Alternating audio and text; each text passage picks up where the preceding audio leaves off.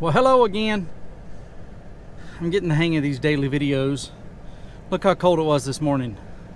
Shoo! That's cold. Um, I've decided I'm not going to go spend hours in the office. I'm just going to run down there and grab a few things that I need. Uh, maybe talk to you guys a little bit about some things that are on my mind. And uh, come back here to the house and do the rest of my work. I've tried to make one phone call today. I got to make two more phone calls, three more emails, um, trying to uh, get up with people and talk about partnerships. Um, so on that last outing, my battery died. You can tell I've changed shirts. We've been back at the house for a few minutes.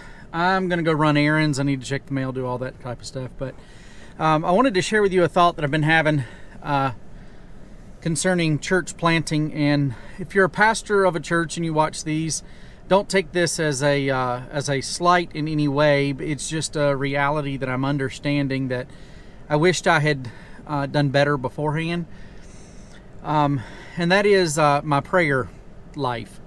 Uh, we had some events happen this past year in our life that really drove me more into praying. Uh, but church planting really is uh, is keeping my prayer life active.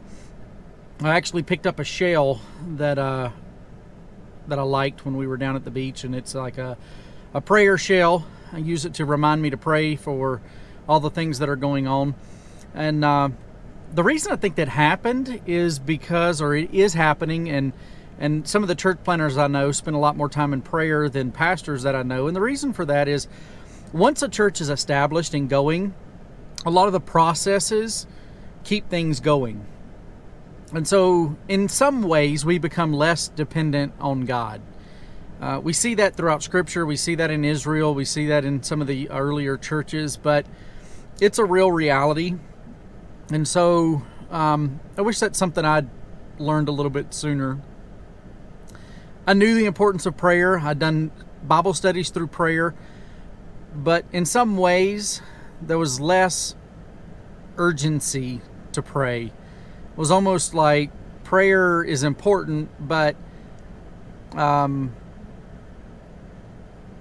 we see it as a last resort. I hate that cliche, but it's it's sometimes true. There, I got nothing else to depend on but God, so I might as well pray. Which is not true. Um, I'm doing everything I can logistically and practically uh, when it comes to church planting, but I'm also spending quite a bit more time in prayer over the whole situation.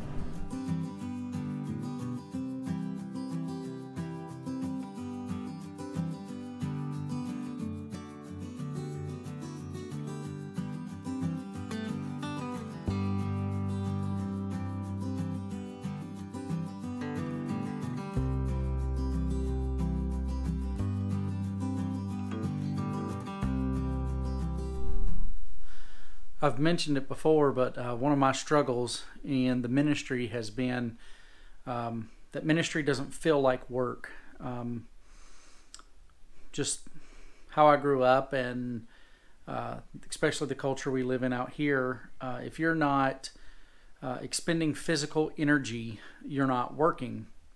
And so, coming to grips with the idea that if mental work is work, and in the ministry, prayer is work so, spending hours uh, in prayer and studying the Bible is actually very uh, taxing and, and is work. So, you know, that's one of the things I'm really going to be focusing on here, uh, especially for this church plant. Um, not because I feel a sense of, um, of uh, what's the word I'm looking for? Uh, it's not like I'm, I'm desperate and and saying I have nothing but God, but because I I see that sense of um, of dependence on Him a little bit better right now than I than I did when we had when I was working, you know, just for the church and and had some systems set up and there were some things that were in place that I knew were going to happen. Uh, I still spent quite a bit of time in prayer. I used to sit in my office, and uh, I'll still do this when I get opportunities sit in my office and close my eyes and pray for each person that was there on Sunday. I'll pray through the pews and, and how everybody was sitting. Uh, spent a good bit of time in prayer, but there's there's something different about it now, and I'm not exactly sure how to explain it. So, Um, well, there it is. Tomorrow's uh, topic is going to be one of the reasons um, I really feel uh, passionate about being full time uh, in planting the church. Uh, we're going to go help uh, somebody here in town that's a church member that I can do something for them and I don't have to be tied to a job. I can actually go serve them. Uh, I'll explain more about it tomorrow. See you then.